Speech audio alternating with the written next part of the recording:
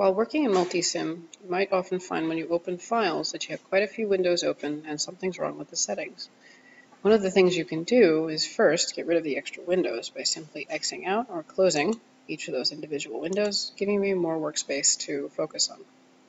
Once you have the individual workspace, if you right-click anywhere on the open space within the grid, you simply indicate Properties, and if you click on Properties, you get this new menu. All of the little tabs up here at the top indicate something different about the space you are now working in. When you want to turn names of components on and off, you can simply check or uncheck these values here and see them appear or disappear in the space here on the right. So for example, if I hit apply, see what happens to the circuit on the left. Notice that all of my labels have disappeared.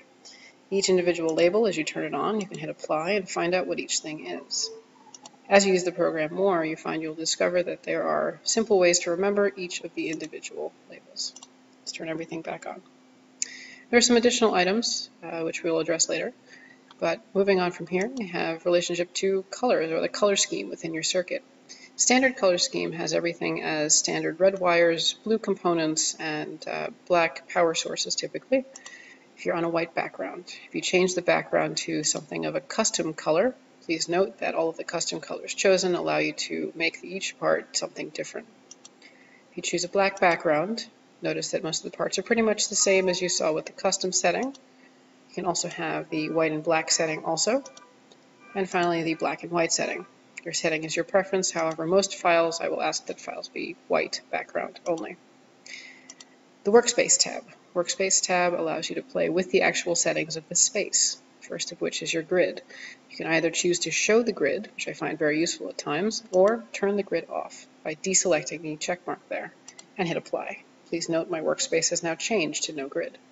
For right now, I'll simply turn it back on and then move on to the sheet size. When you're working with a particular circuit, you might need a little bit more space. Currently, I'm working with a 6 by 6 inch space. I might need more room for some of my circuit designs. So if I move away from custom I can simply choose a standard size, whether it A, B, C, D, or E. My favorite one is actually C. It's quite large. You can see the dimensions have now changed, and I can apply those settings.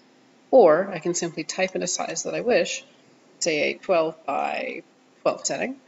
I can apply that as well. Notice that the page shape behind me has also changed.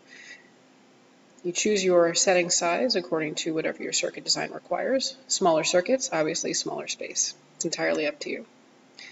Additionally, if you move on to the wiring tab, for those of you that have a hard time seeing the little fine wires on, over this grid, you might want to adjust the wire width size.